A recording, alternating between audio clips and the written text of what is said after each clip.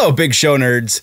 Thank you once again for joining me on your Nerd News headlines. I, as always, am Dustin, bringing you the headlines, and we've got uh, we've honestly got a huge episode. So I I, I mean we've got uh, an update on Hellraiser TV series, the Orville, uh, Goosebumps is coming back to television. We've got honestly the smallest section is the rumor mill. So let's get into the intro so we can get into the news.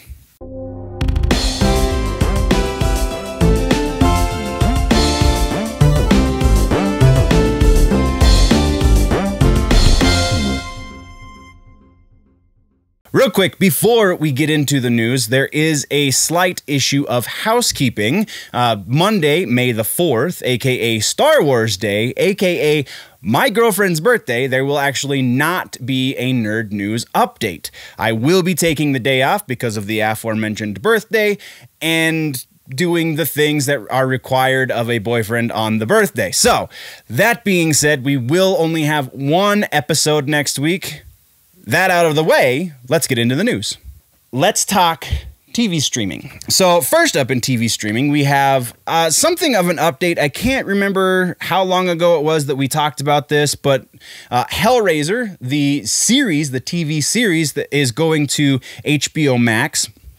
Uh, they just landed a director for the pilot and presumably a, a, couple other episodes for the first season in David Gordon Green, who is currently doing the Halloween movies and did the Halloween reboot. Uh, and this also is not a reboot of this of the franchise this series this is existing inside of the already existing franchise but also somehow has nothing to do with the new movie that's in the works. So maybe the new movie is a reboot or a retelling of some sort, and that's why I, it's very interesting that the two won't be connected, but the series is connected to the other movie. I don't know. It, it's. Hmm the the legality of making movies and things in Hollywood is a little bonkers. I'm not gonna lie. Uh, so that's really awesome, though. That is all we have there. So we're moving next over to the Orville, and we just got word from Jonathan Frakes. Uh, actually, we got a couple of things from Jonathan Frakes in an interview that he did with, I believe it was with ComicBook.com. Yes, uh, with ComicBook.com. Jonathan Frakes said that he wants to be in season three of the Orville, which is which is really awesome. Though not generally the kind of news we cover here on the show. There is more to this, though. Uh, he also said in the same interview that he will not be directing. He has directed a couple of episodes in the past. One from season one, I believe it was episode five, and one from season two, I believe was episode eight. Uh, he is a very well experienced, uh, well seasoned director. He's done some Star Trek stuff. He's directed quite a bit. He's lent his voice to some some animation and such, so he is kind of a nerd staple at this point.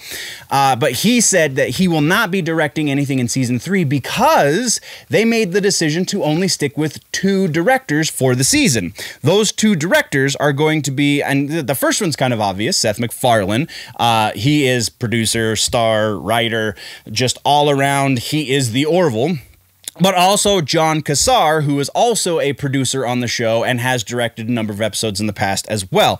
Uh, they will be directing all of the episodes for season three. And just a reminder, season three will be exclusively on Hulu.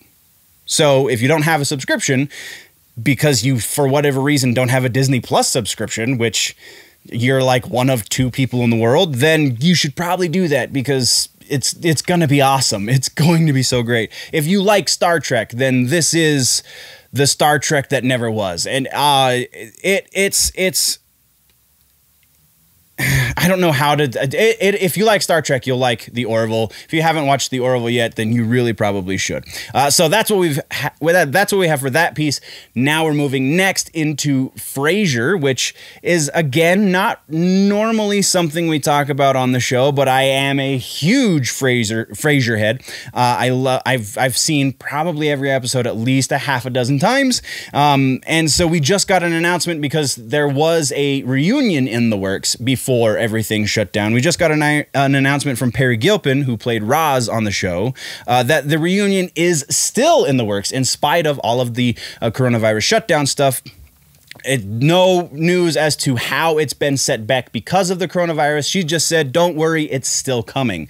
So, real quickie update there. And then our final piece in TV streaming has to do with Goosebumps.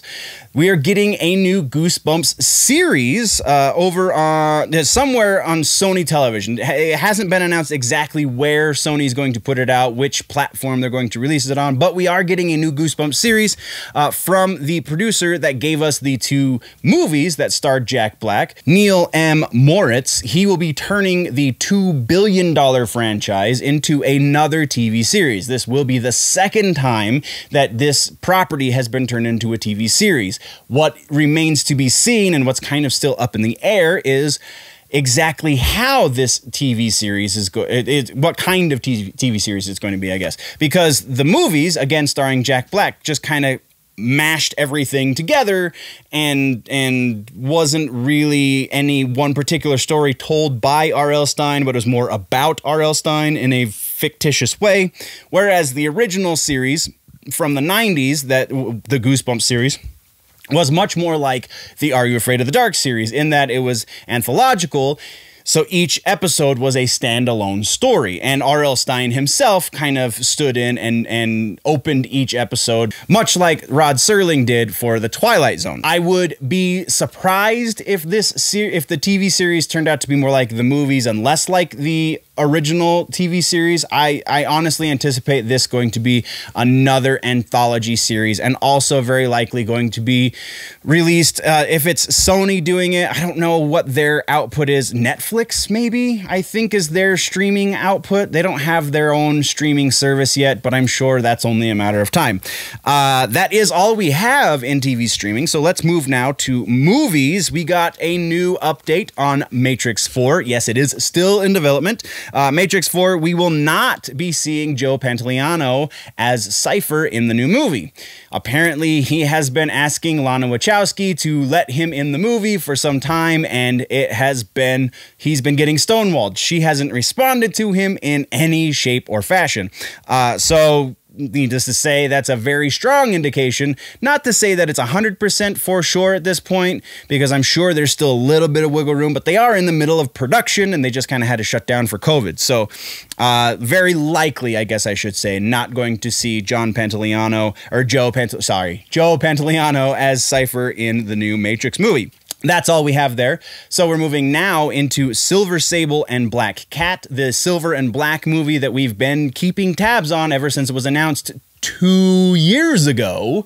Uh, that movie is now, it seems, not happening at all. So for a while it was going to be silver and black, and then they split it up and they said, well, these two characters are strong enough, we could give them each their own movie. And now Gina Prince Bythewood, who is the director and I believe writer or no, she is the writer, and I believe she's also the director, maybe. Uh, she was quoted in an interview saying recently that it is not going to be happening at all. And if it does happen, then it's possibly going to become a series on some TV streaming app. Uh, that is all we have there. Now we're going to move, staying on the Sony side of things, kind of. We're moving into a new Disney MCU update as far as the release dates go, because Sony just announced their Spider Man release dates, and that has forced Marvel to move some of their release dates. So we're just going to go through these real quick, and then we'll kind of uh, get in a little bit more detail, we have Spider Man 3 has been announced as November 5th, 2021, which means they had to move Doctor Strange to March 25th of 2022. And then Thor 4 into February 11th of 2022 and the new Spider-Verse movie was also announced by Sony is now October 7th of 2022. That one's kind of inconsequential to the MCU at large, but it's still significant to talk about. They've they announced a number of other ones too, but these were just the most significant. Uh, now, because of this, like I said, they had to move Thor and they had to move Doctor Strange. Now, Doctor Strange is going to be the end of Phase Four, whereas Thor used to be the end of Phase Four. Uh, this is this is a lot of movement, man, and and it's because Sony did this announcement because I can't I didn't write down the original release dates and I apologize, but there it was a few months worth of even more pushbacks, and so the the Feige's Phase Four is getting a little tweaked, man. Interesting though, having Doctor Strange be the end of Phase Four because of all the rumors surrounding all of the introductions to characters we are theoretically going to be getting in that movie.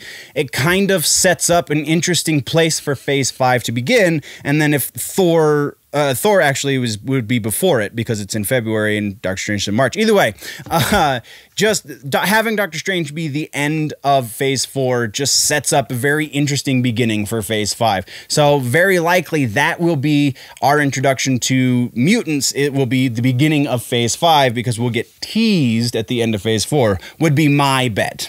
And now we have our final piece in movies, and that has to do with YouTube. So YouTube just announced that they are, go- they are going to be doing a digital film festival on their platform. Uh, not to be outdone by Amazon, who just teamed up with South by Southwest's film festival. YouTube teamed up with 20 other film festivals that are not going to be happening because of lockdown, because of coronavirus lockdowns. Uh, one of the 20 is Cannes. The Cannes Film Festival will be in some way digital. Uh, it's going to be a 10 day event on YouTube. Uh, the name of the channel is going to be We Are One Global Film Festival. That's, that's the name of the film festival and also name of the channel. Uh, and it's, like I said, it's going to be 10 days long, starting May 29th and going for 10 days from there.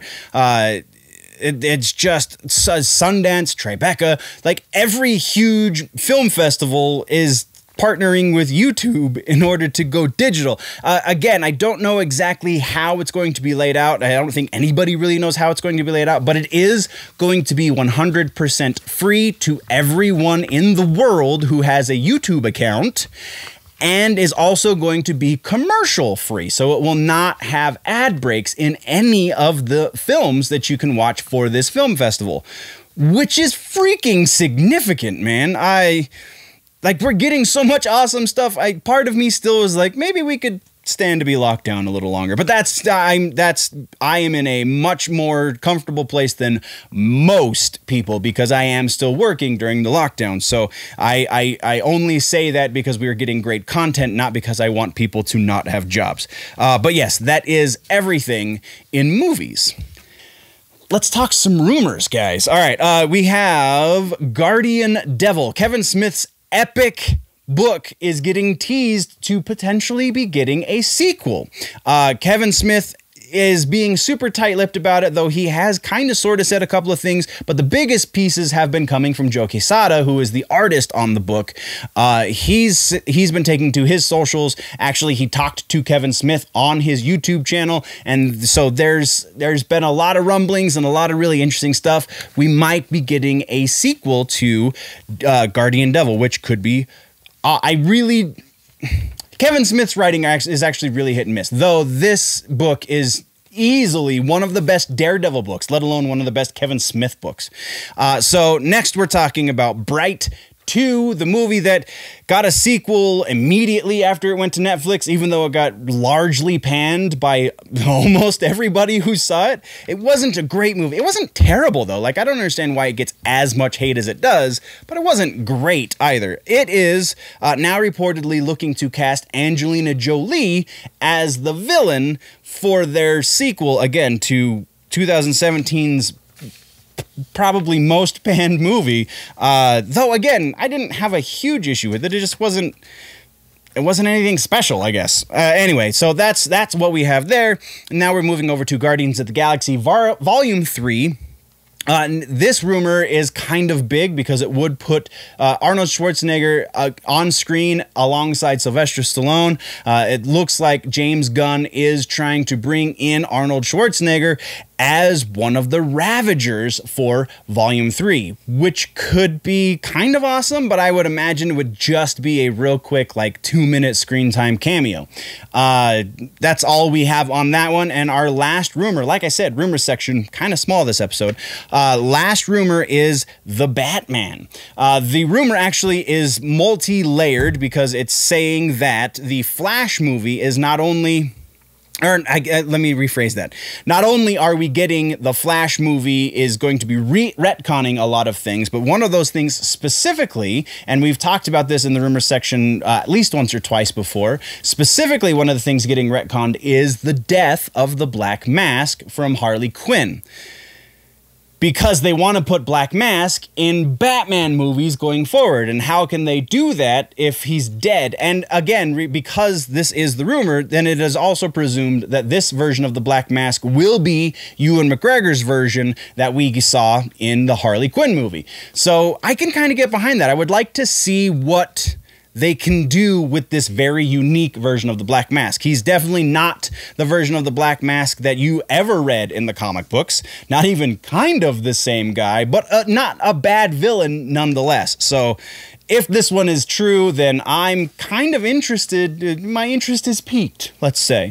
But that's all we've got for rumors, guys. That does it for this episode of Headlines Nerds. For a more in depth conversation on these nerdy bits, plus much more nerdy action, including the full news show, then you can join me over on my personal YouTube channel, Generally Nerdy, where we do uh, reaction videos to popular music and Comic Con coverage and all of the nerdy stuff happens over on Generally Nerdy. So j- join me over there.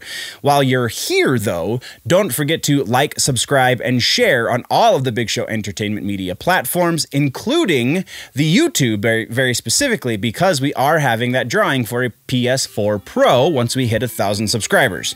So, again, thank you guys for watching. Don't forget to tune in next time for all that's happening across the nerd world. Thank you.